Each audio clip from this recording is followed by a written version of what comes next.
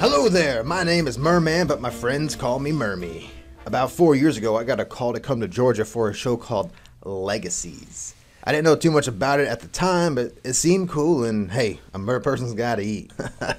as soon as I arrived at Georgia, I fell in love with this place. My time on the show was fantastic, and the people in Georgia were so wonderful that I decided to stay and just live here. Definitely the best decision of my life. Georgia has everything a person can ask for beautiful weather, incredible scenery, great people, and oh, the food, the delicious food. Oh, don't worry, I haven't eaten a human in like, I don't know, like 10 years? uh, Georgia has really good prices for homes, but I've always been a fan of outdoor living. Luckily, the producers of the show hooked me up and they let me stay in the old mill set. I like it up here. It's really peaceful most of the time, but I do have to scare off the occasional Salvatore kid every now and then. Luckily, it's all fun and games. We end up playing freeze tag or basketball or something like that. Moving here was the right thing to do. I'm pretty much a regular on the show now, and I've picked up a side job for extra fish money. On any given day, you can find me giving tours to the hundreds of Vampire Diaries, Originals, and Legacies fans that come to Georgia. People from all over the world travel here just to go on these tours.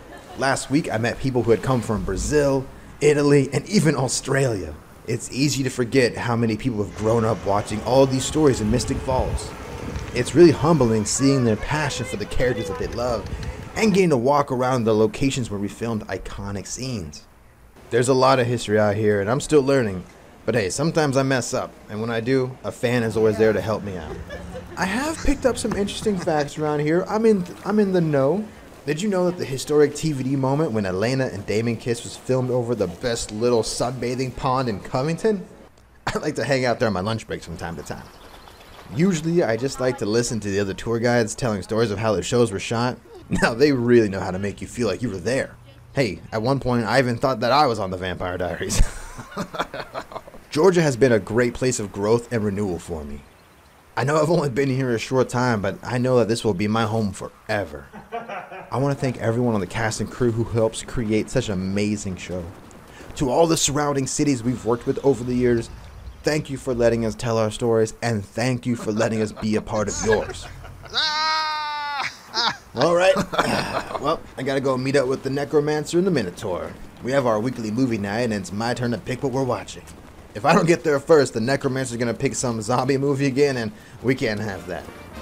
Thank you, Georgia. I hope to see you all again real soon. Merman out.